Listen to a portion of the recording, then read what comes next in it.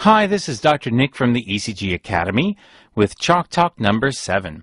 Remember, Chalk Talks assume you know the basics, but I've labeled this strip as advanced because we're going to be talking about some advanced physiologic topics in this tracing. And remember, it's important to understand the physiology because that allows you to read much more complex tracings. So let's get started. Uh, this is a, a Holter monitor that I picked up and it's three simultaneous leads, of course. So we're going to get uh, get started with uh, looking at the forest. And I think what uh, stands out very clearly in the in this strip is that there's a pause here. Um, there seems to be a regular rhythm going along, and if we try to measure the rate, let's start with this heavy line. We'll call it 300, 150, 100, 75. It's just about 75 beats per minute, just exactly. Um, so we have the regular rhythm of 75 beats per minute. If you happen to notice the QRS complex is rather wide, so there looks like a bundle branch block is going on. The, the uh, duration is at least 160 milliseconds.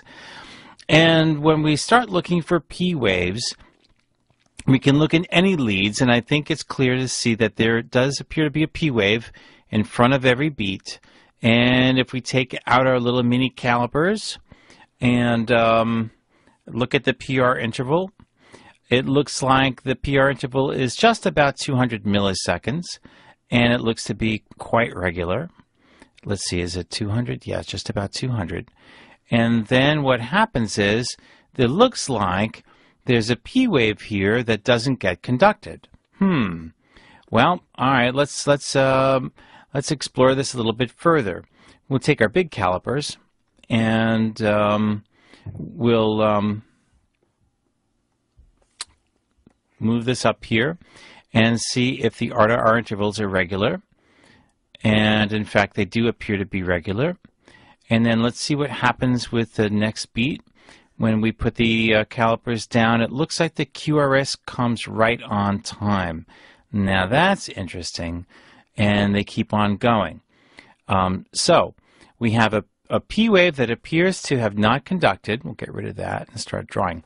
So we have um, regular PR intervals that are uh, fixed, and we have an R to R interval, a pause, that's two times the previous R to R interval, and then the next PR interval following the pause is the same.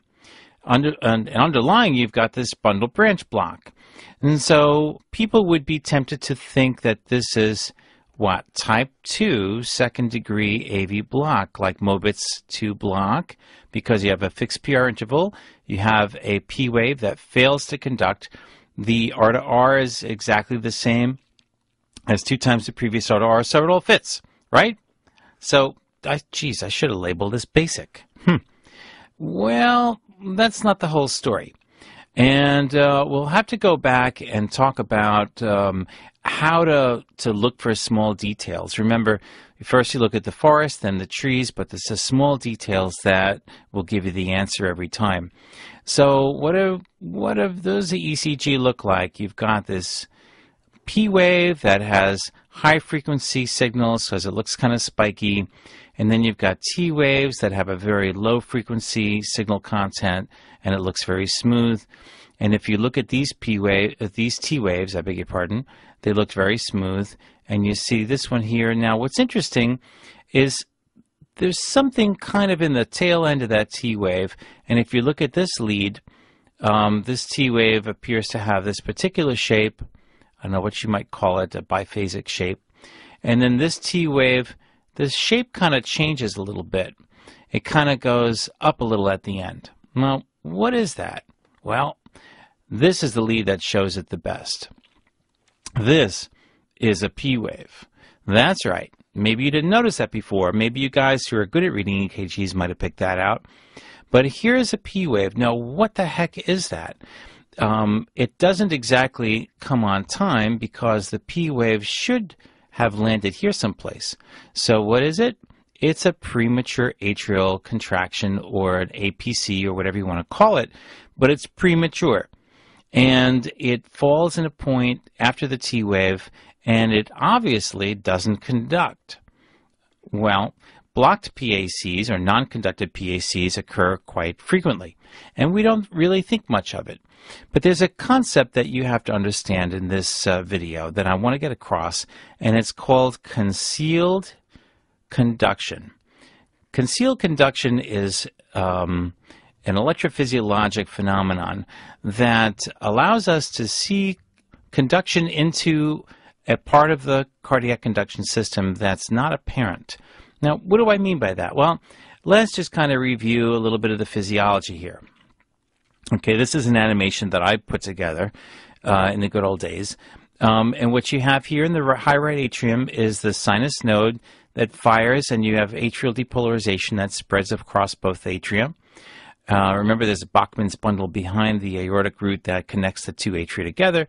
And then here you have the AV node, which its job is to delay the signal slightly. That gives the atria a chance to contract and push the blood through the heart valves.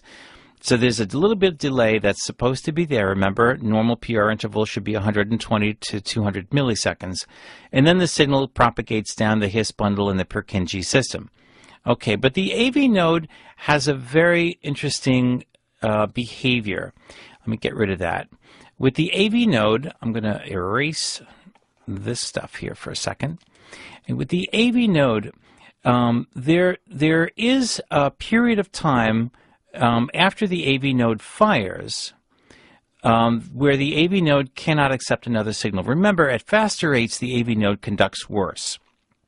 That's why with fast atrial arrhythmias, you can, can get conduction block. Um, and that's because the AV nodal cells have a, a, special characteristic known as decremental conduction, which means that the faster you stimulate it, the worse it, it conducts.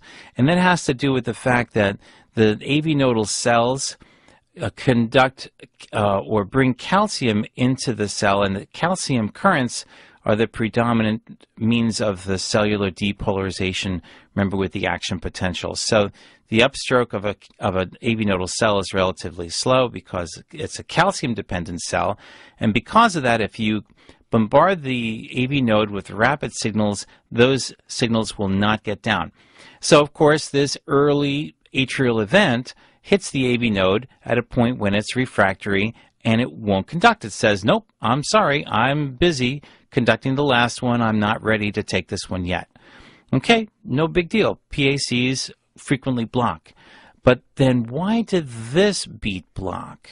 Why did this atrial event fail to conduct? It made it look like that this was a second degree type 2 AV block, but it's not.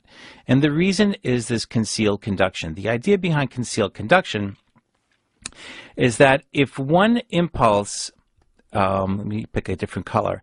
If one impulse gets into the AV node, it may penetrate partially into the AV node, but then fail to fail to exit the other end of it.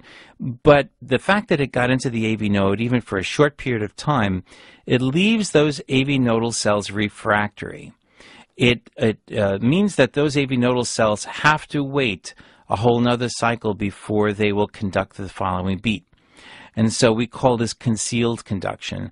It means that this beat got into the AV node and it left the AV node refractory. Even though it didn't come out the other end, its effects are still present because when this beat comes down, the AV nodal cells have remained refractory and, and this beat blocks as well, even though there was a long interval between this last Q, conducted QRS complex and this P wave. Okay, so this, this fooled you. What you really have here are two PACs, um, because if you looked really carefully, this P wave actually looks a little bit different than this P wave, and it occurs a little bit earlier than we'd expect. If, you, if I didn't want to show you that with my calipers because it might have given it away. Um, so what you have are two premature atrial events both of which encounter a refractory AV node. So what you really have are two blocked PACs in a row, two sequential non-conducted PACs, and it's not true AV block in the strictest sense of the word. And so it, although it appears to be second-degree AV block, it's really not, because the AV node is kind of behaving normally. Now it's possible that this patient has some significant AV nodal disease, and it's even possible that the block occurred further down in the conduction system. I'm not saying that that's impossible, but what I'm saying is that if you're going to read an EKG diagnosis, in this case, we're not really dealing with true second degree AV block. You have to recognize that this P wave um, throws the whole thing off. So that was the little hidden um, uh, fly in the ointment, so to speak, that um, uh, that that you need to be able to recognize and label this strip correctly. So um, that was uh, kind of fun, and uh, and I enjoyed showing that to you. I hope that helps you understand the the cardiac physiology a little bit better, and um, and that's what I'm trying to do with these Rhythm Chalk Talks. So tell all your friends um, to log on, subscribe to my channel. I'd like to really try to get my uh, videos to be number one on the internet. So help me out and uh, keep uh, watching for more Chalk Talks. And, and remember to log on to ECGacademy.com so I can help you become an ECG expert too.